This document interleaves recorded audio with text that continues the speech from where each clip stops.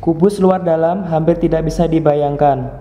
Ambil potongan panjang dari wadah bekas susu atau jus dan buat garis tegak lurus vertikal dan horizontal yang terbentuk empat kubus dan empat persegi.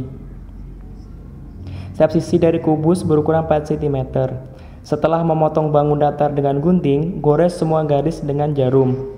Penggoresan membantu membuat pinggiran yang tajam.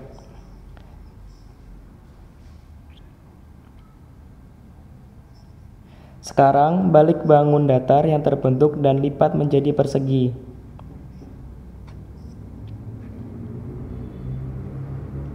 Pada akhirnya terbentuk bangun datar yang terhubung dengan persegi di satu sisinya. Lem pada bagian tersebut. Tunggu hingga mengering dan tempelkan.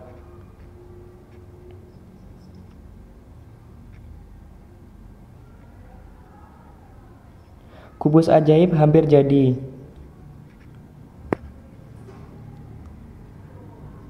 Pertama, lipat kubus menjadi kubus perak. Keenam sisinya akan berwarna perak.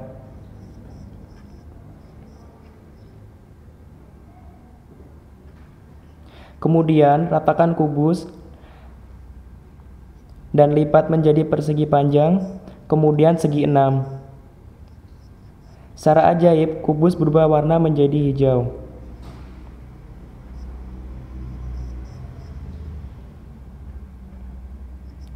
Sekali lagi, ratakan dan lipat menjadi persegi panjang dan segi enam. Akhirnya persegi. Kali ini, kubus ketika dibuka akan berwarna perak.